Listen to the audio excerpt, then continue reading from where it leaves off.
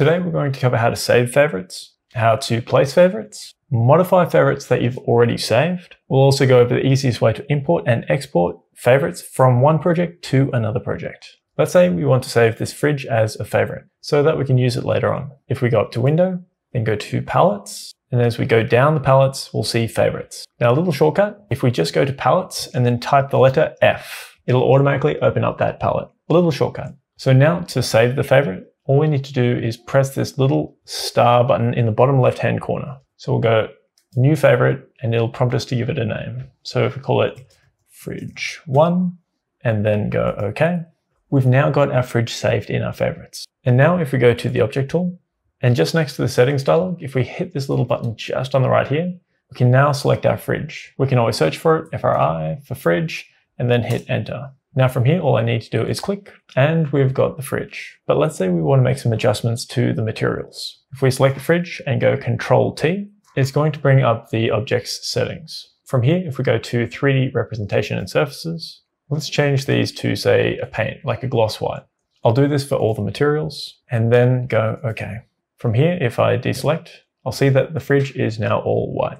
If I want the default fridge in my favorites, this one just up here, to now have those materials we just applied, all we need to do is make sure that the fridge is selected, then right click the fridge just up here. All we need to do is go redefine. And now this fridge, if we hit deselect, double click our fridge, and then place our fridge down, it's now going to do it with those new materials. If we wanted to quickly change the materials, we can just go surface just up here and make sure that the surface is selected to one that we want. Let's say we go white paint flat white and I click on this one, it's going to paint all the surfaces of the fridge just that one tone. Now to import and export your favorites from project to project, it's actually really easy. All we need to do with this favorites dialog opened up is go to this little settings clog just up the top right hand corner. We'll go import and export. From here, it looks pretty self-explanatory, but if we say go import and we want to bring in those favorites from the other ArchiCAD file, even though we might be in the right file that we want, it mightn't show up. But all we need to do is go on to File of Types, then select all ArchiCAD projects just here.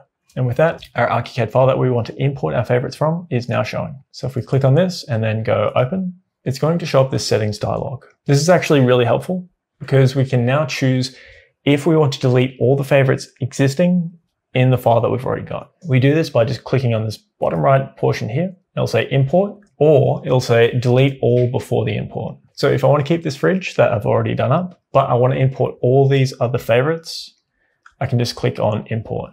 Or if I want to delete the fridge, then I'll just go delete all before import. And now it's brought in all those favorites from that project. I'm going to put this kitchen file on the Patreon for free. No trial needed. So you can download it and get an idea of how much quicker it is to use a room that's already been set up. This is one of the many modules in the fundamentals template. If you want to get all the room modules along with example files, legends, schedules, and more, early access is now available for purchase. Now, speaking of examples, in this video just over here, we redraw a building from the 1800s from scratch, then render it in Twinmotion. You don't want to miss out on this one.